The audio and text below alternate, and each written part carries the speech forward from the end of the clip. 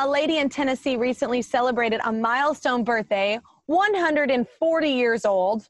It's dog years, whatever. It's still awesome. She's a 20 year old canine and the oldest known living golden retriever. I love golden retrievers.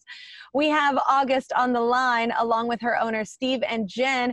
Hey, what's up, y'all? How you doing? Hi, Kelly. How are you? Hey, hi, Kelly. I, I am so good. Oh my gosh, look at August. So, so tell us a little about August. Well, I was involved with the Golden Retriever Rescue in Las Vegas for about 15 years. Hmm. I did the intakes when we got a call from a social worker in southern Utah that she had a client that needed to rehome, that needed to home her Golden Retriever.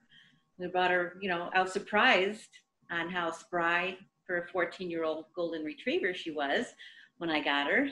Yeah, we brought her home, and she was uh, she was 14 at the time when we got her. But she was already pretty well on, you know, way past the age of when golden retrievers usually live till. But she was very active even the next couple three years after that. When she's 15, 16, and 17, she's swimming Wow. with, with the other dogs. You know, we have we have pictures of her jumping jumping into the pool, retrieving balls, and she would sometimes do that for an hour or two. And even even today, now when she's 20, she's still good to go up and walk around. We have we have a couple acres here, and Oh she's good around the yard and everything. So she's still active, and we think that was all that activity has been has has helped her. Uh, you know, make- Absolutely. Absolutely. Do you you say you have her around younger dogs as well? Maybe that's helpful.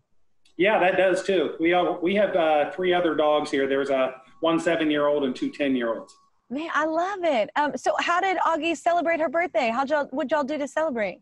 That was a grand day. You know, earlier in the year, I was thinking of maybe uh, 70 plus people having a big party. Well, COVID came about. Yeah. And yeah, so we had a couple of close friends come over, celebrate with us. The house was decorated.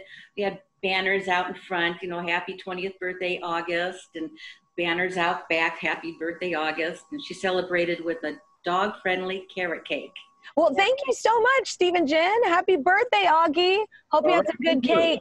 I like Thank carrot cake if it has cream cheese frosting. Just saying. Um, I'm liking y'all's post right now. Subscribe to my channel. Subscribe to my channel. Subscribe to my channel. Subscribe to my channel. Please don't make me keep going.